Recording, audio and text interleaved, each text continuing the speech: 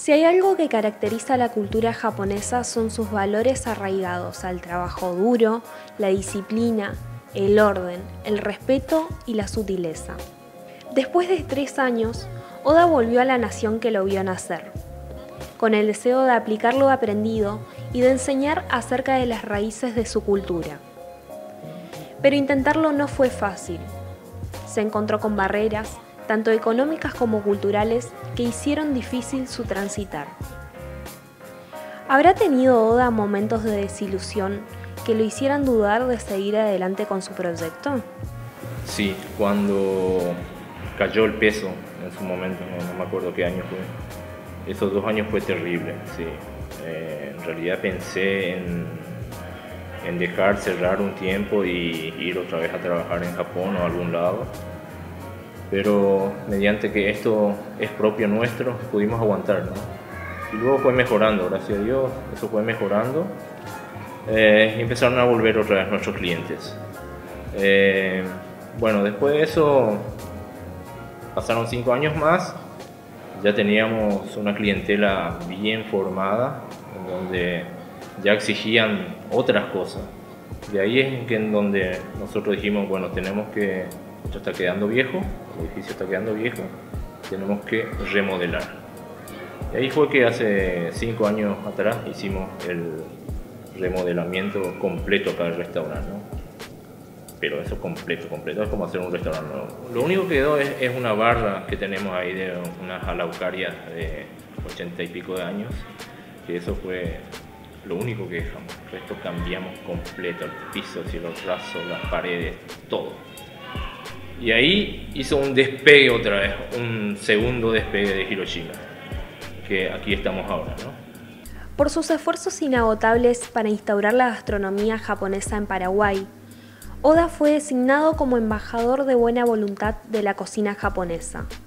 Y al momento de agradecerlo, muy tímidamente, expresó tres cosas que caracterizan a su cultura y a las personas que, con honor, la transmiten al resto del mundo tres cosas que me llamaron mucho la atención, pero que en las explicaciones de ese día no terminaron de llenar mi necesidad de saber qué significaban. No podía perder la oportunidad y entonces se lo pregunté. Usted habla de tres cosas que, tiene la cultura japonesa, que son el por favor, el perdón y el gracias. ¿A qué hacía referencia cuando lo decía? Sí, eh, el perdón porque si uno se equivoca o hay que pedir perdón siempre, ¿no? Es un poco esa parte de la humildad, la honestidad, eh, ¿qué otra cosa? Eh, la, solidaridad, la solidaridad, ¿verdad? Que uno debe tener. Hay unas palabras que a mí me gusta mucho que se llama el omotenashi. ¿Qué significa en Japón? En japonés es servir del corazón no, omotenashi.